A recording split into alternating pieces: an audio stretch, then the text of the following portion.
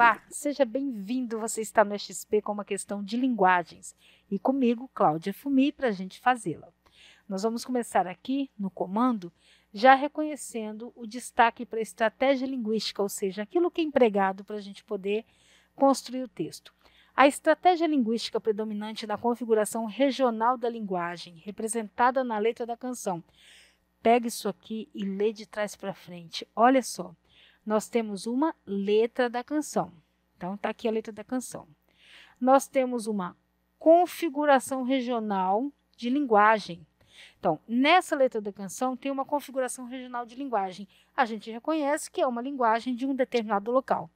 E a estratégia linguística predominantemente predominante nessa caracterização é o que? Então, a pergunta ficou mais clara agora. A estratégia linguística é tá? Você vai ler isso daqui e isso daqui juntos.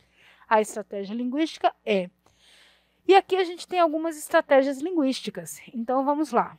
Nós temos aqui piquititim. Se eu fosse um passarinho destes bem avoador, destes bem piquititim, assim que nem beija-flor, avoava do gainha, sentava sem assombro nas grimpinhas do seu ombro, modo de beijar seu beicinho. E se você deixasse às vezes com o fio do seu cabelinho prazo de quase um mês, eu fazia nosso ninho. Aí sei que dessa vez, em pouquinho tempo depois, nós largava de ser dois para ser quatro, cinco ou seis. Então, nós temos aí, claro, né, a gente percebe a linguagem regional com passarinho, avoador, né, às vezes, né, quais um mês, e nin, a gente dispôs, a gente tem aí uma, uma variedade grande de exemplos, né? Agora nós vamos reconhecer qual foi a estratégia linguística utilizada aí. Nós temos aí, olha, a ausência da marca de concordância nominal. Concordância nominal seria fazer o quê? Seria colocar, por exemplo, a gente tá doido. Doido é um adjetivo que deveria concordar com gente, porque é feminino. A gente diz assim, a gente está doido hoje. Doido não, deveria ser doida, né? Isso aqui é uma, uma, uma forma coloquial que faz o quê? Não marca a concordância nominal. Não tem isso aqui no texto. Letra B, redução da sílaba final de determinadas palavras. Assim, ó, passarinho, né?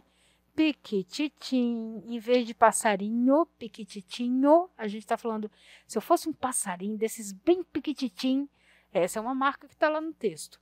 Letra C, emprego de vocabulário característico da fauna brasileira. Peraí, vocabulário característico da fauna? Como assim? A fauna brasileira tem vocabulário?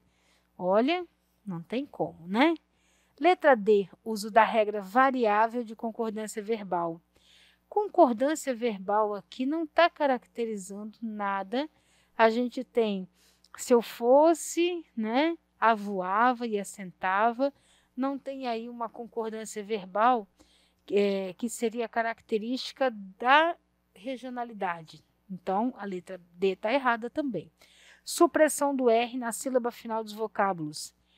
Supressão do R, avoador, né? Nós temos o que mais? É, deveria ser, ser assim, nós largava de C, no caso. Então, a estratégia linguística que tem aí também é essa. Eu, eu fico com a letra E e fico com a letra B. Jogo fora do. Opa! Eu fico com a letra E e com a letra B. Ai, ai, ai. O que, que eu fiz de errado, hein? Nada. Você só vai voltar para o comando e entender que a estratégia linguística é a predominante. Essa aqui aparece uma vez e essa daqui aparece mais. Por isso que a predominante é a letra B, nossa resposta. É isso aqui, é XPO sempre coladinho em você.